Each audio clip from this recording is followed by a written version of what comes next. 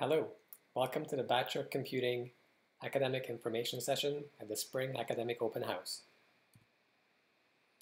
My name is Greg Klotz. I am a program counselor for the Bachelor of Computing degree, and I provide academic advising to students. Basically, I help students understand their academic options from first semester course selection in the summer all the way through to graduation. My background is I have a BSc in Applied Computer Science from Ryerson followed by an MSc and PhD of Computer Science at Guelph.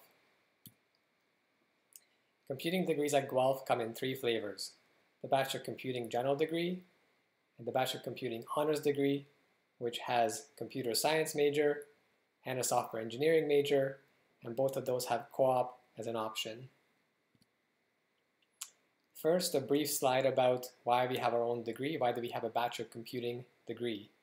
We have a Bachelor of Engineering degree at the University of Guelph. It has a common first year where students have to take chemistry, engineering courses, engineering design, physics, etc. We have a BSc. This also has a common first year. Students are required to take chemistry, biology, physics, and calculus. And we have our own degree, the Bachelor of Computing, because this is focused on computing and it has a flexible first year where students get to choose their own electives based on their interest. So if they want, they can take chemistry or physics or more math courses, but if they prefer, they can take music, history, English, zoology, or any of our other minors.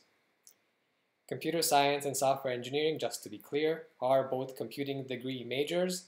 Neither one of them is an accredited engineering degree. The Bachelor of Computing General degree is three years of full-time study so that assumes five courses are taken each fall and winter semester. It gives students a basic foundation in computer science.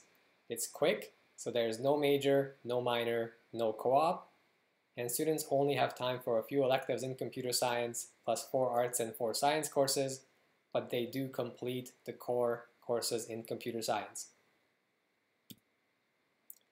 The Bachelor of Computing Honors degree is four years of full time, so again assuming Five courses are taken on all eight academic semesters.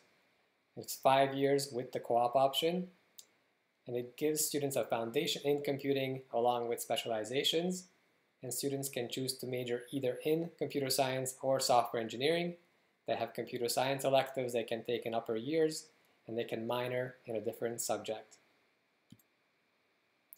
The computer science major is a traditional computing degree focused on software development, has a bit more theory, theory of computation. It's flexible, mostly electives in third and fourth year. And calculus is a required course at university, so it has a little bit more math than the software engineering major.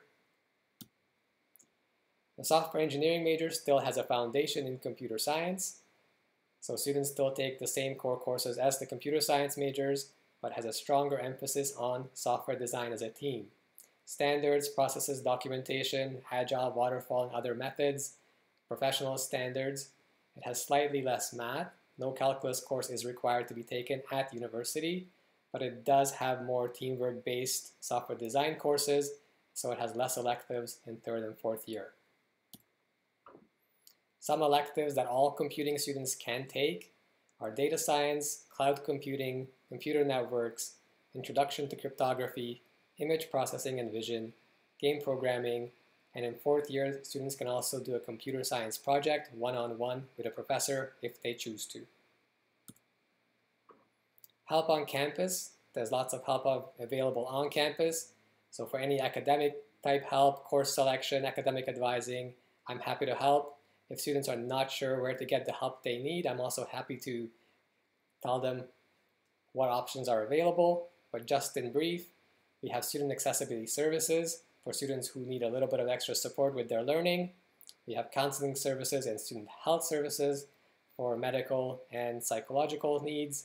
And we have the library, which has lots of books, but they also offer many study and exam help and exam preparation sessions.